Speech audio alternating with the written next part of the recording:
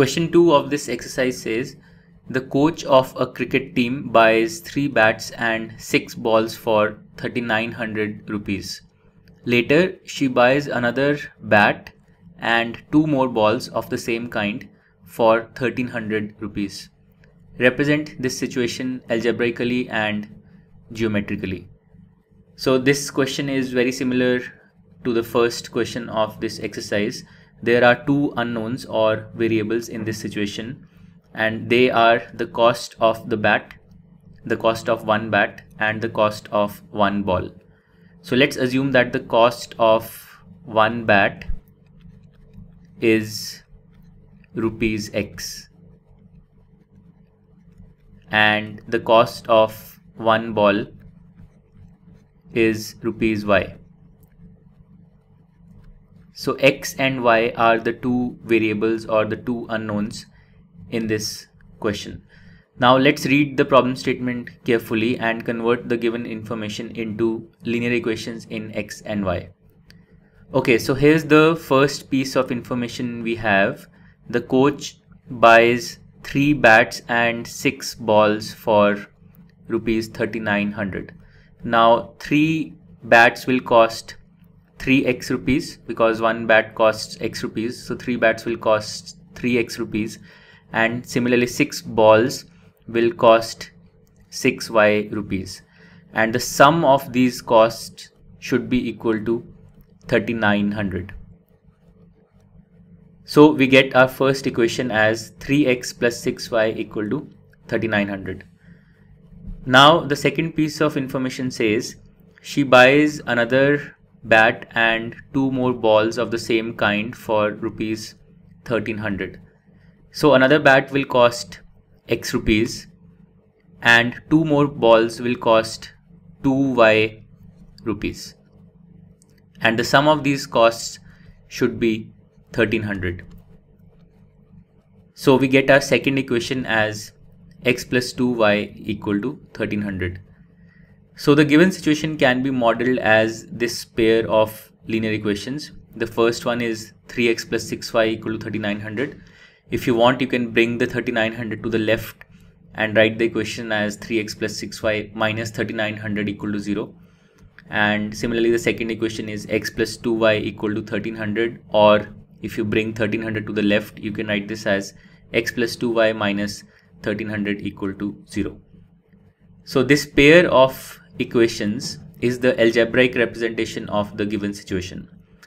Now let's plot the two equations to represent the given situation graphically. So here's our axis with the horizontal axis representing x which is the cost of one bat and the vertical axis representing y which is the cost of one ball. I'm using a scale of 1 unit representing 100 rupees on both the axes because this will make the lines easier to plot. Now let's go to the two equations and for each of them find two points which will lie on the um, which will uh, satisfy the two equations. So the two equations are 3x plus 6y equal to 3900 and x plus 2y equal to 1300. So let's first plot the first equation which is 3x plus 6y equal to 3900. So let's find out two solutions of this equation. So I'm drawing this xy table here and we will take two values of x and correspondingly find the values of y. So let's take values of x and y which are easier easy to plot on our graph. So if I take x equal to 300 so let's see what happens. If I substitute x equal to 300 in the first equation, I get 3x or 900 plus 6y equal to 3900 and this gives 6y equal to 3000 or y equal to 500. So corresponding to x equal to 300, y is equal to 500. So 300 comma 500 will be one solution of this first equation. Now let's take another value of x. Let me take x equal to 900 and let's see what I get. So I get 3x which is 2700 plus 6y equal to 3900 and this time this gives me y equal to um,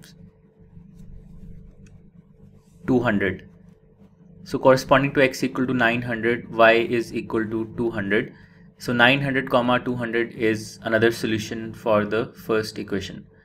Now using these two solutions let's plot the line solution line for the first equation.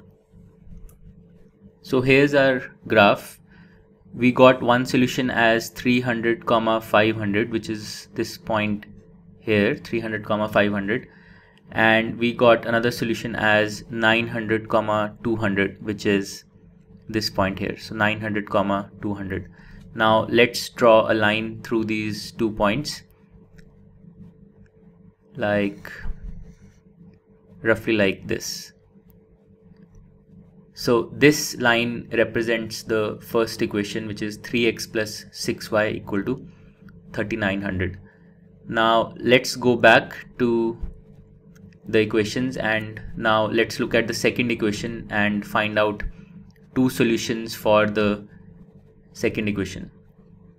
X plus 2y equal to 1300 so once again let's draw an xy table and take two values of x and find the corresponding values of y. So if I take x equal to 100 what do I get? I get 100 plus 2y equal to 1300 which gives me y equal to 600 so corresponding to x equal to 100 y is equal to 600 in the second equation. So 100 comma 600 is one solution of this equation. Now let's take x equal to 500